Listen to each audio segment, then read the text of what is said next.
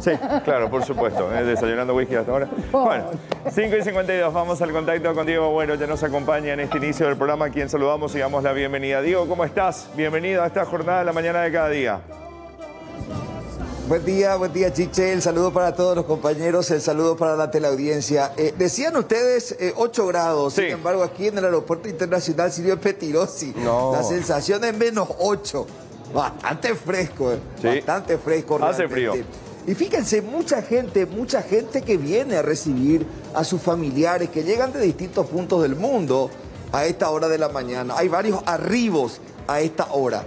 Pero a ver, para que la gente pueda saber para qué llegamos hoy al Aeropuerto Internacional Silvio Petirosi, les comento, acaba de llegar hace aproximadamente 20 minutos la máxima autoridad nacional del golf. Participó de los Juegos Olímpicos, enalteció nuevamente la bandera paraguaya a través de su participación. Uno de sus recuerdos más gratos en los Juegos Panamericanos de Lima en el 2019, cuando obtiene la medalla de oro. Mucho esfuerzo, mucho sacrificio por parte de él para poder enaltecer nuevamente el nombre de Paraguay en estos Juegos Olímpicos de Tokio 2020. Eh, sin embargo, la ubicación y toda esa dedicación suya no pudo alcanzar los primeros lugares, pero ahí nuevamente enanteció el, nombre, la ubicación y la bandera paraguaya. Puesto número 35, acaba de llegar Fabricio Zanotti eh, con todo su equipo y precisamente nos ofreció una nota y nos contó cómo hacen los paraguayos, porque ustedes se imaginan ahí entre tantos deportistas, cómo hacen para motivarse entre ellos los connacionales. Escuchamos lo que nos decía Fabricio. ¿Qué tal todo allá en, en Tokio? Bueno, la verdad que contento. Eh, ya estamos acá de vuelta. Eh, si bien no fue el resultado que esperaba, pero, pero bueno, contento porque eh, dejé todo en la cancha y di lo mejor que pude, ¿verdad? Implicó mucho esfuerzo, ¿no? Sí, sí, siempre es difícil viajar de un país tan lejos. eh, la zona horaria es muy diferente, pero bueno, pero no son excusas. Fui con tiempo suficiente para adaptarme y la verdad que los días de, de competencia me sentí muy bien físicamente y así que, que nada, a seguir trabajando y ojalá podamos estar en París en tres años. Claro. Ese es el proyecto, ¿no? Ahora, eh, poder trabajar duro para poder eh, estar nuevamente eh, en los primeros lugares en París. Sí, sí, así mismo voy a seguir trabajando, seguir jugando en el Tour Europeo como, como lo vengo haciendo hace varios años y, y nada, prepararme para en tres años estar en París de la mejor manera posible.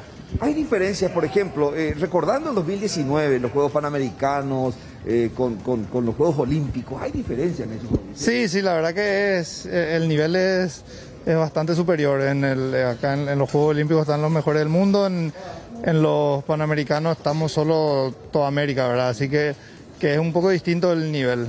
Bueno, un poco la experiencia también entre los paraguayos, cómo se apoyaban, cómo se motivaban ustedes. Sí, la verdad que eso siempre es lo que rescato de los juegos. eh, el ambiente que hay siempre con el Team Paraguay es espectacular.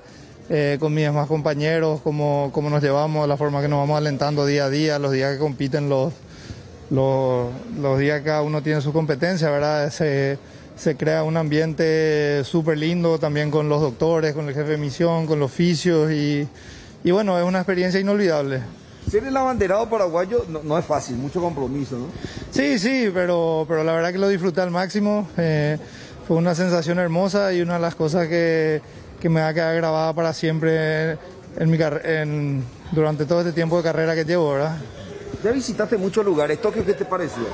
Lastimosamente no pude conocer mucho Tokio porque la verdad que no podíamos salir de la villa, sí, no podíamos salir de la villa, entonces me hubiera gustado conocer más, pero, pero bueno, por lo que conocí de ir en el transporte de la villa al campo de golf, eh, me pareció una ciudad hermosa y bueno, ojalá algún día pueda volver y conocerla de verdad. Bueno, éxito entonces para el nuevo emprendimiento, Fabricio. No, muchas gracias por todo, hasta luego.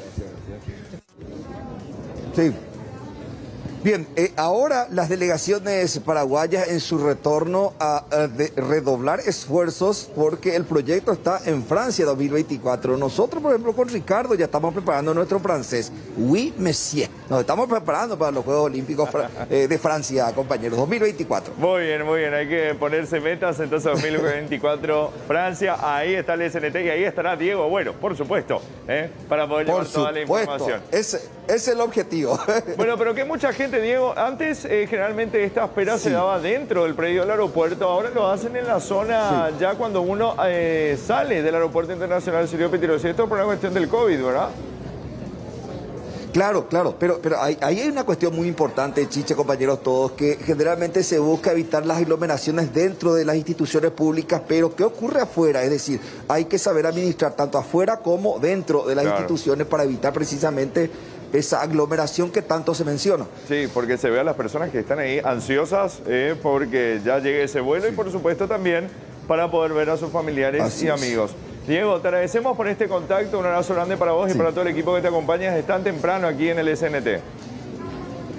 Que tengan buena mañana, compañeros. Muy bien, muchísimas gracias. Ahí está. Eh, la gente esperando, ansiosa a que llegue, justamente por lo que veo Nilda, porque es el cartel obviamente que más eh, podemos leer desde aquí. Señores, vamos a agradecer a las marcas que nos acompañan en la mañana de cada día. Agradecemos a la empresa que nos